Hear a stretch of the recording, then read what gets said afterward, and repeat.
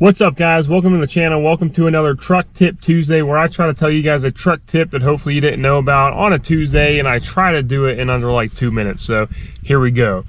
This is for all my weight loss truck guys and this isn't like for you guys that are trying to lose some weight. This is for my guys who have diesel trucks who already lost a few pounds, if you know what I mean. And guys that are running a switch on the fly shifter, just like this right here.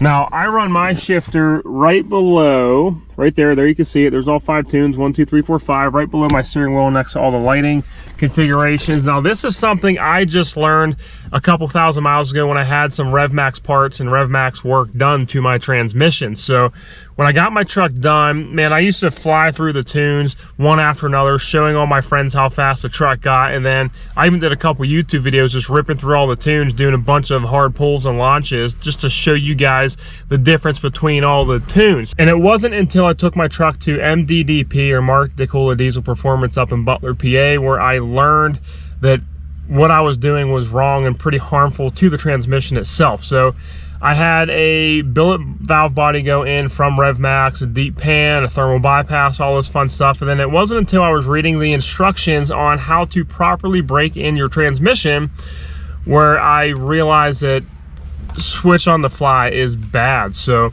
check this out. In their instructions, and I'll show you guys a clip of this, the next issue is CSP5 or any other changing of power levels on the fly, which is including the switch on the fly SOTF. When switching power levels, you must allow the transmission to slowly adapt to the increased power levels. If the transmission is not given time to adapt to the new power levels, you will damage the transmission in short order.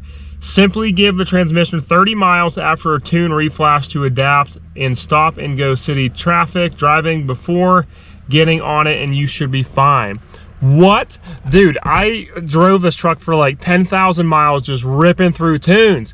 So if you got the switch on the fly, please be careful with it. Change your tune. If there's a Honda that pulls up next to you, don't just throw it to five and get ripping on it or you're gonna be buying yourself a new trans. So now you know.